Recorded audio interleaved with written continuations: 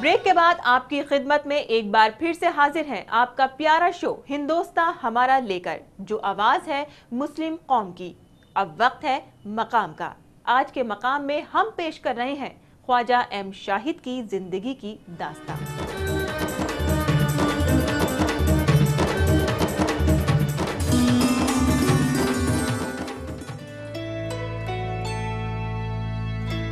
नाजरीन, मकाम में आज हम आपको मिलवा रहे हैं ख्वाजा मोहम्मद शाहिद साहब से।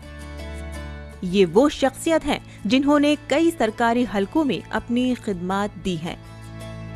ख्वाजा साहब एक सूफी परिवार से ताल्लुक रखते हैं। शाहिद साहब का घराना जमींदार घरानों में शुमार है। आपको बता दें कि इस घराने के लिए सबसे फख्र की बात यह है कि परिवार का नाम अलीगढ़ की तहरीक में सर सैयद अहमद खान के साथ जुड़ा हुआ है। हमारे सर सैयद की अलीगढ़ तहरीक से भी वाबस्ता रहे और ज़िक्र मिलता है किताबों में अलीगढ़ की तारीख़ में ऐसे लोगों का जो हमारे ख़ानदान के मेरे दादा दादा के वाजिद बुज़ुर्गों में से जो अलीगढ़ के ताल्लुक़ रखते थे। ख्वाजा साहब की पैदाइश अलीगढ़ के काजीपाड़ कस्बे में हुई। बचपन अलीगढ़ की गलियों में बीता। लिहाजा शुरुआती तालीम भी अलीगढ़ के सिटी स्कूल में हासिल की। मैं जिस ख़ानदान से ताल्लुक़ रखता हूँ, वो अलीगढ़ में तकरीबन ढाई सौ साल से अलीगढ़ में ही बसे हुए हैं। तो मेरी पैदाइश भी अलीगढ़ में हुई है और सारी बुनियादी तालीम, प्राइमरी एजुकेशन, सानवी एजुकेशन और हायर एजुकेशन सब अलीगढ़ में हुई है। अलीगढ़ मुस्लिम यूनिवर्सिटी से बीएससी की और उसके बाद मही से पॉलिटिकल साइंस में एमए किया। 1974 में एलएलबी किया। इसके बाद सिविल सर्विस का एग्ज़ाम दिया और उसमें भी झंडे गाड़ दिए।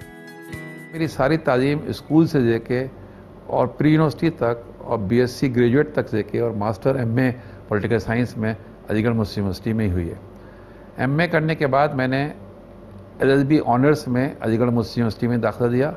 1976 के इम्तिहान की बुनियाद पर आईएएस के एलाइड सर्विस में मैं, मेरा सिलेक्शन हो गया और मैं उसके बाद दिल्ली आ गया।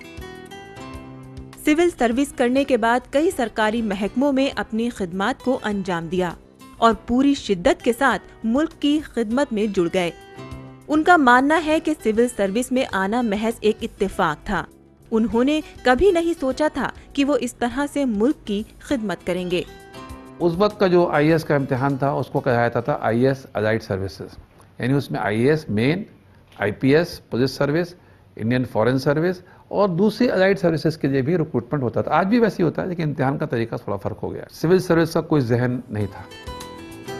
राशिद साहब को सिविल सर्विस का एग्ज़ाम पास करने के बाद पहला अपॉइंटमेंट होम अफेयर मिनिस्ट्री में मिला। एक लंबे वक्त वहाँ कायम रहे और डिपार्टमेंट की खिदमत गुजारी की। इतना अच्छा सेक्शन हुआ कि सेंट्रल सेक्रेटरी सर्विस की जो बैच था उसमें मैं नंबर वन पोजीशन पे था। और उसकी बुनियाद पे फिर मेरा गवर्नमेंट ऑफ़ इंडिया में तकरूरी हुई और मेरा पहला अपॉइंटमेंट जो हुआ वो मिनिस्ट्री ऑफ़ होम अफेयर्स में हुआ। वो कहते हैं कि उन्नीस में मेरे खुद के अंदर एतमादी बढ़ी जिसके बाद उन्हें जामिया मिलिया बुला लिया गया। जहाँ उन्नीस सौ सतासी से उन्नीस सौ चौरानवे तक कायम रहे। उन्नीस सौ सतासी में मुझे जाम मिलिया के वाइस चांसलर जो उस वक्त थे, प्रोफेसर अलीशरा साहब, उन्होंने ख़ास तौर से मधु किया और डिप्यूटेशन पे जाम मिलिया में बतौर स्टार बजाया। वो वो दौर था जब जाम मिलिया इस्लामिया एक सेंट्रल यूनिवर्सिटी बनने जा रही थी और बिलाखिर उन्नीस 1989 में वो एक सेंट्रल यूनिवर्सिटी बनी। तो उस दौर में जब वो एक प्राइवेट यूनिवर्सिटी डीम यूनिवर्सिटी से एक सेंट्रल यूनिवर्सिटी बनी तो मैं वहाँ का रजिस्ट्रार था। उन्नीस में मिनिस्ट्री ऑफ़ इंडस्ट्री से जुड़े जहाँ काम के दौरान एक अच्छा वक्त गुजरा। यहाँ उन्होंने 2002 तक काम किया। सतासी के बाद से 1987 के बाद से मैं मिनिस्ट्री ऑफ़ इंडस्ट्री में वापस आ गया गवर्नमेंट ऑफ़ इंडिया में और वहाँ पे डिप्टी सेक्रेटरी और डायरेक्टर के अहदे पे कायम रहा। शाहिद साहब का मानना है कि इस वक्त हिंदुस्तान के मुआशरे में ज़बरदस्त तब्दीली आई है।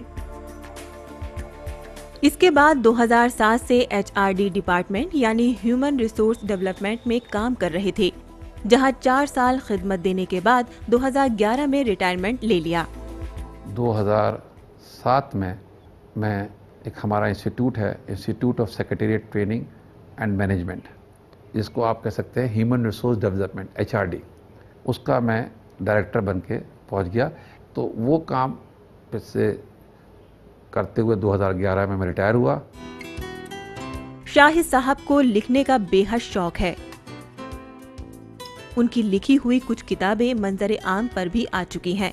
मैंने अंग्रेज़ी में भी एक किताब मुरतब करी है राइट टू इन्फॉर्मेशन पे। और वो इसी हफ़्ते में छप के आ रही है।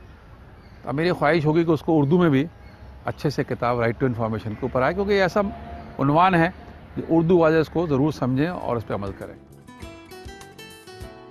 वो उर्दू की और खिदमत करना चाहते हैं। उनका मानना है कि राइटिंग और उर्दू में गहरा ताल्लुक है। उर्दू में अभी बहुत काम करना बाकी है। यही वजह है कि वो उस पर खास तवज्जो दे रहे हैं।